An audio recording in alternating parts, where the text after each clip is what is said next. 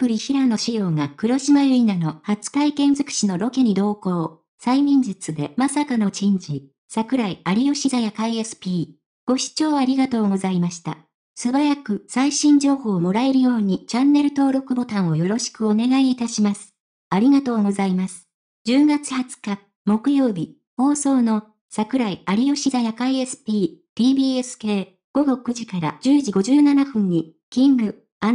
プリンスの平野紫耀と黒島結菜がゲスト出演する。10月20日の2時間スペシャルでは、夜会ハウスに米倉涼子、横浜流星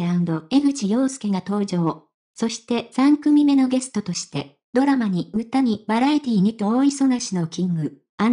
プリンスの平野紫耀と NHK 連続テレビ小説、チムロンドンで主演を務め話題となった女優黒島結菜が出演する。番組ではシソンヌの長谷川忍が二人が出演する金曜ドラマ、クロサギの撮影現場に潜入し、初体験尽くし、黒島結菜がやりたい七つのことと題して、黒島にバラエティロケに挑戦してもらう。平野はバラエティに不慣れな黒島に、バラエティの先輩として同行し、黒島のやりたい七つのことを見守る。黒島のやりたいことは、激痛は失語って本当に痛いの？や、催眠術にかかってみたいなど体を張った内容ばかり。平野は見守るだけのはずだったが、激痛は失語のお手本に、と施術を受けることに。顔を歪めながら悶絶する平野。そのリアクションに引き気味の黒島だが、いざ施術を受けると激痛にのたうち回る。さらに平野は、黒島が催眠術をかけられている様子を見ているだけで自分もかかってしまう。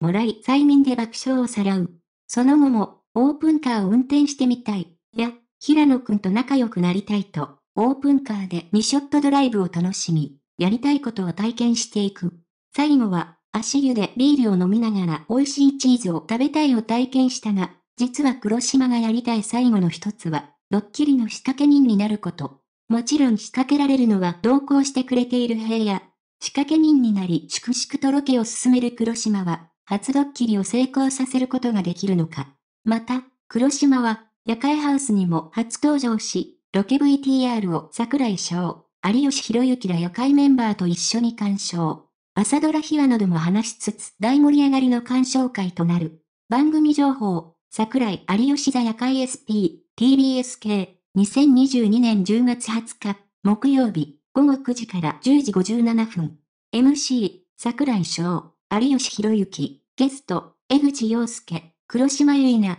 平野紫耀、 King & Prince、横浜流星、米倉涼子、準会員、池田美優、新年愛花、児嶋一哉、アンジャッシュ、田中卓志、アンガールズ、長谷川忍、シソンヌ、山崎弘也、アンタッチャブル、TBS 夜会チャンネル、https コロンスラッシュスラッシュ www youtube.com スラッシュチャンネルスラッシュ UC1 下棒うずらうぶ 08U0 イムククト 1g TBS。羽生結弦プロフィール、宮城県出身。2014年ソチ五輪に出場し、フィギュア男子シングルで日本人初となる金メダルを獲得。2018年平正オリンピックでも金メダルを獲得し、オリンピック2連覇という偉業を成し遂げる。2022年にプロ転向を表明。現在プロスケート選手として活躍中。ご視聴ありがとうございました。これからも一緒に応援していきましょうね。チャンネル登録をよろしくお願いいたします。